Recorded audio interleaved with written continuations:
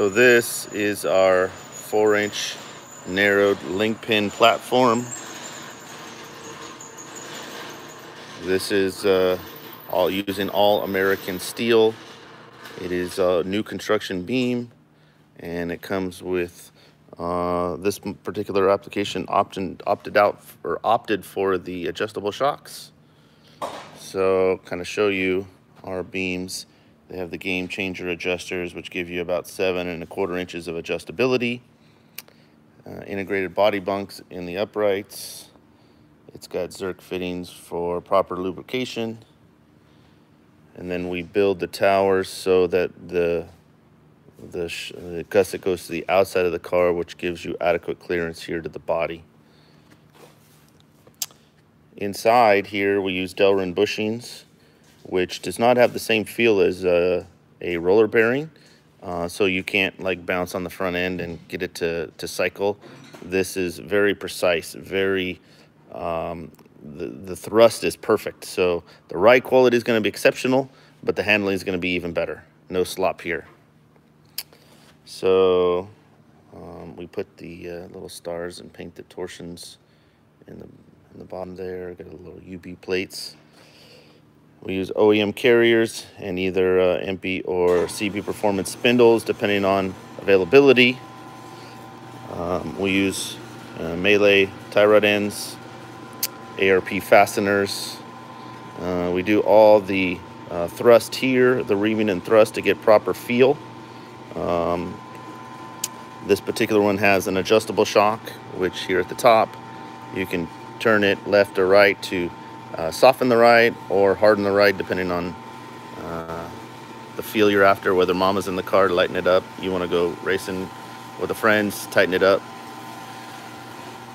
Use a Bosch steering dampener, uh, new uh, DOM tie rods. Once again, uh, the correct tie rod with the bend in it. If you don't have the bend, you got the wrong one on it. Um, so all Meyle tie rod uh, ends.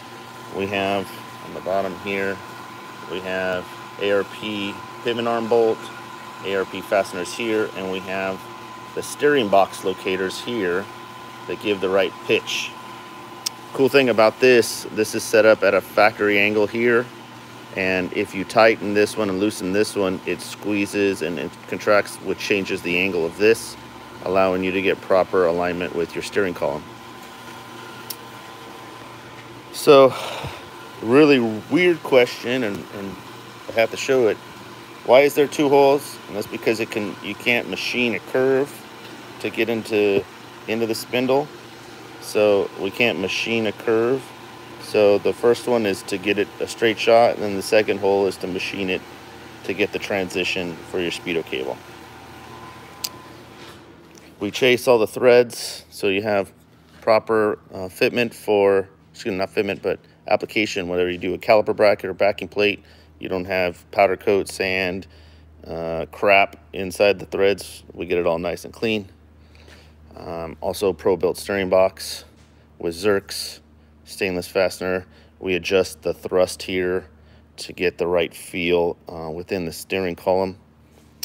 Um, so yeah, all our beams come with a steering dampener on it uh, in the bracket, whether it's a left hand or right hand, depending on the application.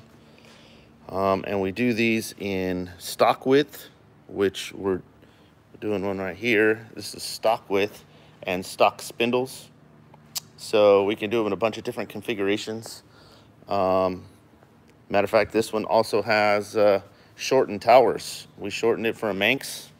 So uh, we brought the towers down an inch on the on the towers uh, to get that one to fit. So um, another little bit of information. Um, as these go up, it raises the vehicle. As they come down, it lowers the vehicle. Um, so these adjustment screws are uh, what pushes and pulls. You don't want to uh, lift or lower the vehicle um, with the weight on the car. You want to kind of do it unloaded and then kind of put it down on the, on the ground, kind of put it in a preload and then you'll kind of get your, your setting. All these beams come uh, greased within all the eight Zerks on the link pin models, including the steering box all fully greased. Um, and then we wipe it down clean. You, you won't find a speck of grease on this front end. Um, that's my thing. So, um, I don't want it to be uh, greasy for you. Um, if, a little tip, uh, when you're getting this car all set up and you got the right height all set up, you're going to want to shorten this. Um, so if you have only a certain amount here, you can measure from this block to the base. And then you're gonna cut off that amount on this side, not this side because there's an Allen on the bottom of this. So then you can bring you can bring this all the way up flushed out with this nut and that'll give you good ground clearance. So that's that. That's our PRObuilt beam. This one is headed out to Virginia Beach, Virginia.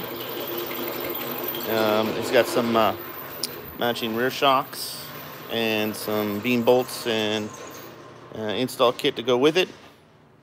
Um, thank you again for entrusting us to build your platform uh, for your uh, Volkswagen. Um, if you're interested in one, please comment below. Uh, we are slammed right now, but that doesn't mean that we can't get you one eventually.